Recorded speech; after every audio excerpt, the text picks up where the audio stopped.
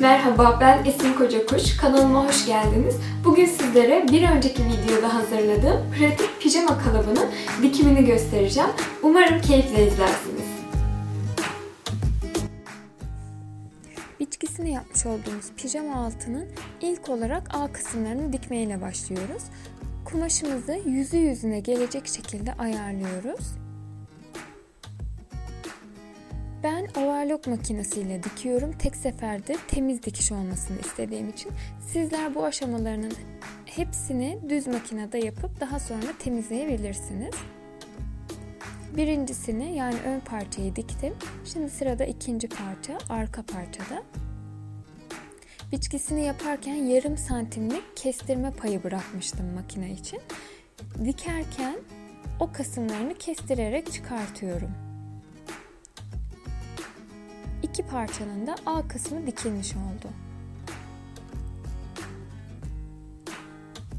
Arka ve ön parçayı yüzü yüzüne bakacak şekilde ayarlıyorum. Sağ ve sol kısmını ve en son bacak arası kısmını dikeceğim. Yine keserken verdiğim dikiş payını kestirerek yan kısımlarını kapatıyorum.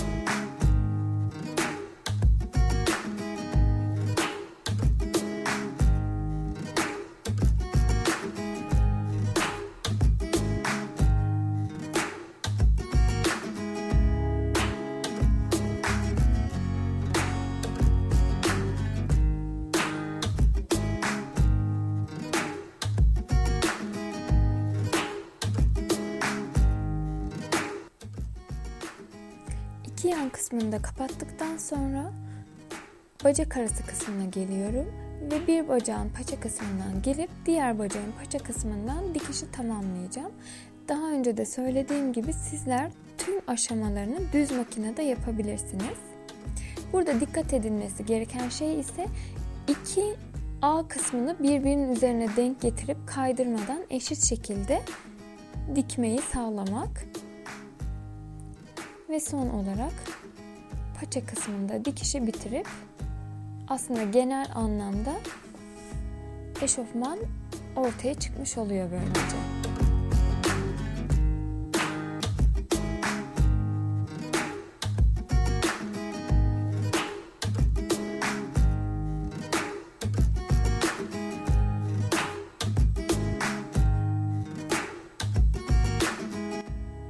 Dikimden sonraki görüntüsü bu şekilde. Ben paçalarını overlockla temizledim. Fakat yapmasak da olur. Çünkü püsküllü bir kumaş değil. Yine de bunu sizlere göstermek adına yaptım. Daha sonrasında iki kat katlayarak temiz bir dikiş görüntüsü elde edeceğim. Yine sizler isterseniz eğer overlock geçerseniz iki kat düz makineyle geçip reçme görüntüsü verebilirsiniz.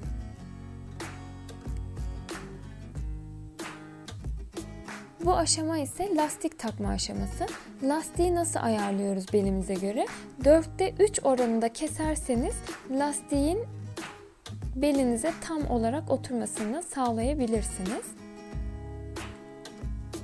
Lastiği diktikten sonra pijamamı giyinecek şekilde yani ters kısmı içe gelecek şekilde çeviriyorum.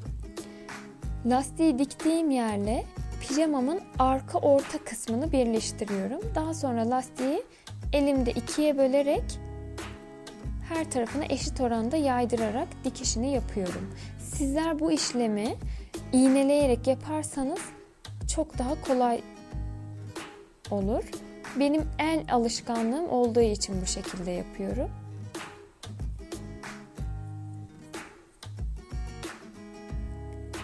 Lastik tak- takılmış oldu, tamamlandı. Sıra lastiğin üst kısmını düz makineyle geçmeye geldi.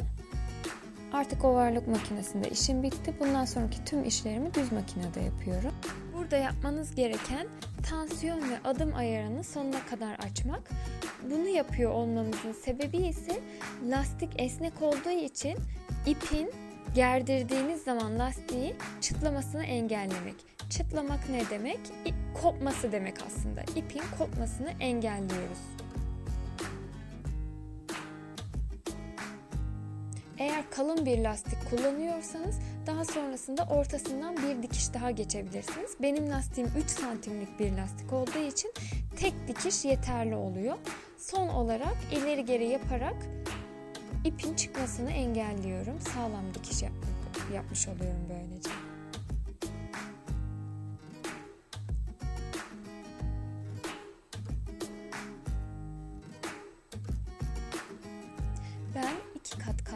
Katlayarak temiz dikiş elde etmek istiyorum.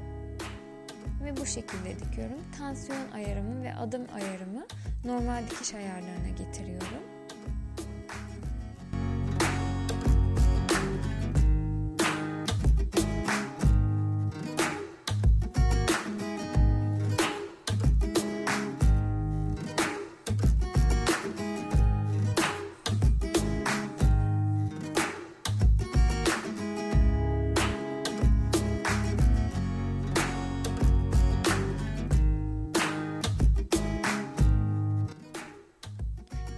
Geri yaparak dikişimi sağlamlaştırıyorum ve aynı işlemi diğer paça için de uyguluyorum.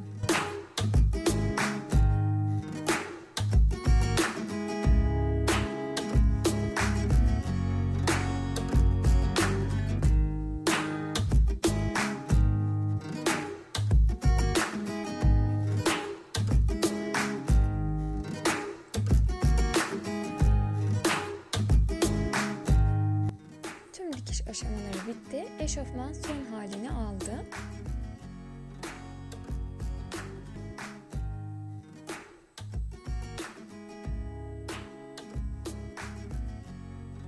Sizler de dikerseniz Instagram hesabına gönderirseniz hikayemde paylaşırım.